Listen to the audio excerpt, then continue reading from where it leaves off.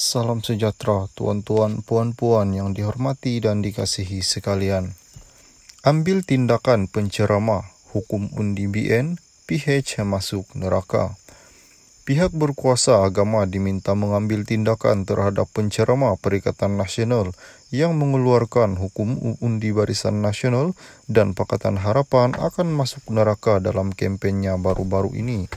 Pengarah Komunikasi Pemuda UMNO Syed Muhammad Johan Rizal Rizal Syed Unan Masri berkata kenyataan Ketua Pemuda Pasik Muhammad Saiful Muhammad Nasir dilihat mampu memecah belah perpaduan umat.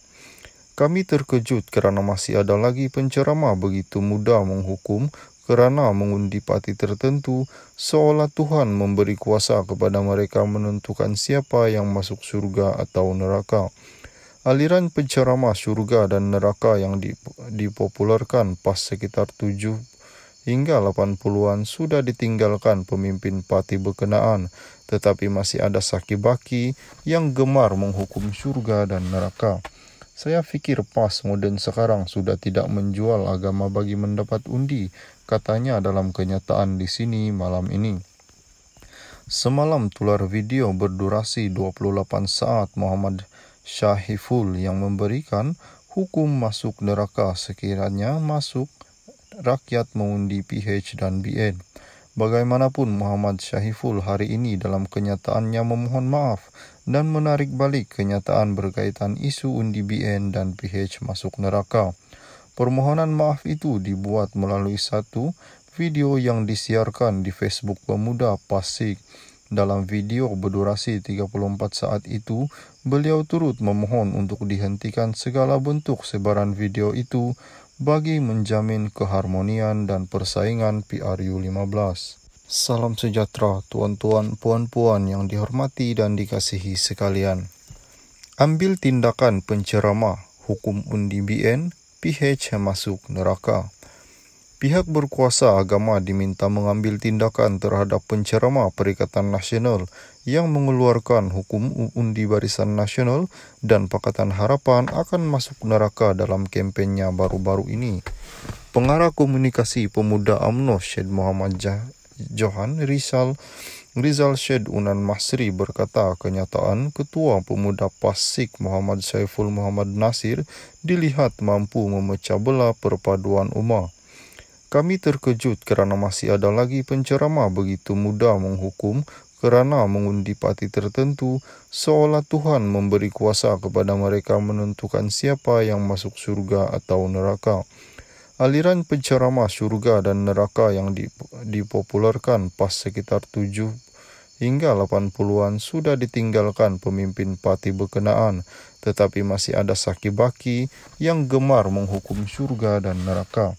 Saya fikir PAS moden sekarang sudah tidak menjual agama bagi mendapat undi, katanya dalam kenyataan di sini malam ini. Semalam tular video berdurasi 28 saat Muhammad Syahiful yang memberikan hukum masuk neraka sekiranya masuk rakyat mengundi PH dan BN. Bagaimanapun Muhammad Syahiful hari ini dalam kenyataannya memohon maaf dan menarik balik kenyataan berkaitan isu undi BN dan PH masuk neraka. Permohonan maaf itu dibuat melalui satu video yang disiarkan di Facebook Pemuda Pasik. Dalam video berdurasi 34 saat itu, beliau turut memohon untuk dihentikan segala bentuk sebaran video itu bagi menjamin keharmonian dan persaingan PRU 15. Salam sejahtera tuan-tuan, puan-puan yang dihormati dan dikasihi sekalian.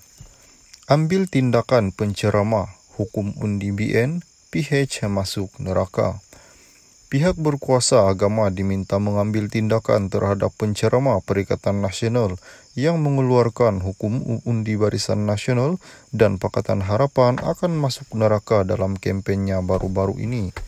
Pengarah Komunikasi Pemuda UMNO Syed Muhammad Johan Rizal Rizal Syed Unan Masri berkata kenyataan Ketua Pemuda Pasik Muhammad Saiful Muhammad Nasir dilihat mampu memecah belah perpaduan umat.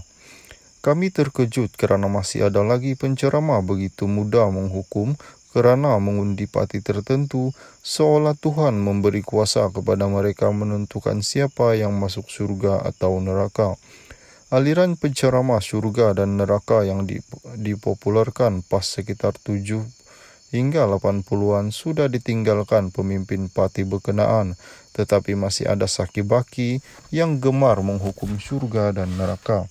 Saya fikir PAS moden sekarang sudah tidak menjual agama bagi mendapat undi, katanya dalam kenyataan di sini malam ini. Semalam tular video berdurasi 28 saat Muhammad Syahiful yang memberikan hukum masuk neraka sekiranya masuk rakyat mengundi PH dan BN. Bagaimanapun Muhammad Syahiful hari ini dalam kenyataannya memohon maaf dan menarik balik kenyataan berkaitan isu undi BN dan PH masuk neraka.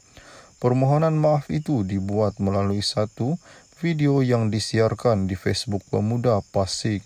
Dalam video berdurasi 34 saat itu, beliau turut memohon untuk dihentikan segala bentuk sebaran video itu bagi menjamin keharmonian dan persaingan PRU15. Salam sejahtera tuan-tuan puan-puan yang dihormati dan dikasihi sekalian. Ambil tindakan penceramah hukum undi BN PH masuk neraka. Pihak berkuasa agama diminta mengambil tindakan terhadap penceramah Perikatan Nasional yang mengeluarkan hukum undi barisan nasional dan Pakatan Harapan akan masuk neraka dalam kempennya baru-baru ini. Pengarah Komunikasi Pemuda UMNO Syed Muhammad Johan Rizal Rizal Syed Unan Masri berkata kenyataan Ketua Pemuda Pasik Muhammad Saiful Muhammad Nasir dilihat mampu memecah belah perpaduan umat. Kami terkejut kerana masih ada lagi penceramah begitu mudah menghukum kerana mengundi parti tertentu seolah Tuhan memberi kuasa kepada mereka menentukan siapa yang masuk surga atau neraka.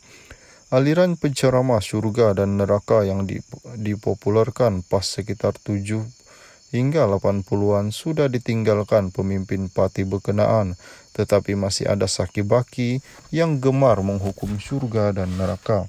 Saya fikir PAS moden sekarang sudah tidak menjual agama bagi mendapat undi, katanya dalam kenyataan di sini malam ini. Semalam tular video berdurasi 28 saat Muhammad Syahiful yang memberikan hukum masuk neraka sekiranya masuk rakyat mengundi PH dan BN.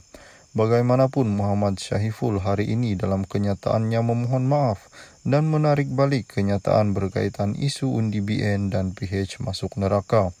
Permohonan maaf itu dibuat melalui satu video yang disiarkan di Facebook Pemuda Pasik. Dalam video berdurasi 34 saat itu, beliau turut memohon untuk dihentikan segala bentuk sebaran video itu bagi menjamin keharmonian dan persaingan PRU 15.